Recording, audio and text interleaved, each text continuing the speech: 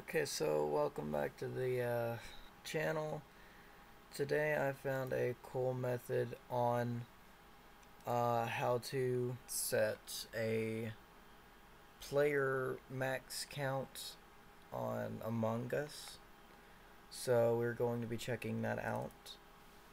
And this does work on multiplayer. You do not need a hex editor to edit the uh, file locally all you need is cheat engine and among us obviously and well I'll show you how. Now it is undetermined if over 10 players are able to join even with it raised. But people are able to join people are able to see. So just keep that in mind. Please don't start commenting below saying, oh, this is fake, it doesn't work. So what we're going to do is create a game. Um, I'm going to put the imposters of 1 so I can reach 4. Now we're going to start with the max count with the number 4. For the value, it's got to be uh, 4 bytes, exact value 4. Hit enter. It's going to bring up an entire list of number 4s. We're going to put that to 5. Replace the 4 with 1. Increase value by, and then that's going to be 1. Hit enter again. Bring it up to 5. Repeat this until you get to 10. 6. 7.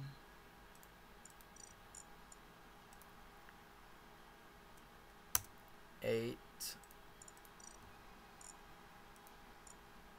nine, and then this one should be the last one, and then we got 10. So the player count is A1.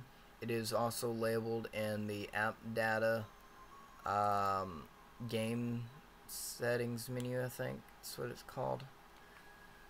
So we're going to make sure that's 10 um, I'm going to put the imposters back to 3 and just click confirm.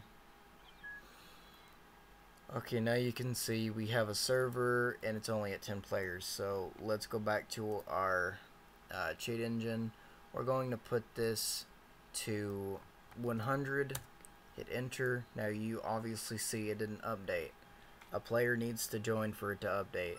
So let me get on my phone real quick and open it, I will quickly join and show you that it does work. You can do this with the imposters, you can do it with player speed, you can do it with anything on the game.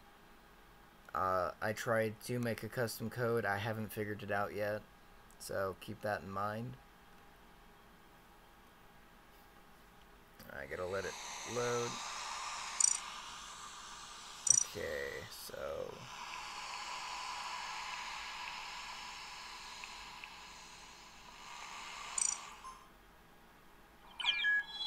and there you go.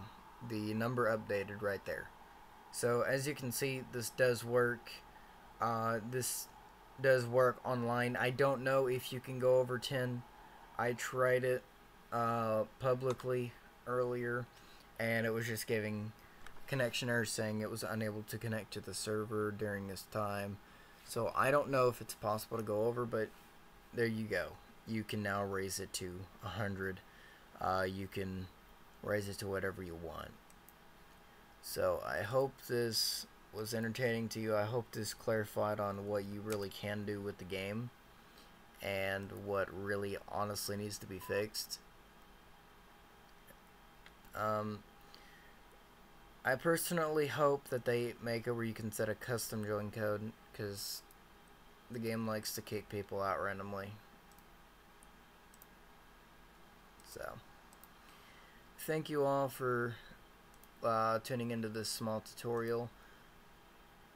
And hopefully I will be able to publish more videos sooner. Uh, if you want me to do videos on Among Us let me know in the comment section below. And I'll see you all in the next video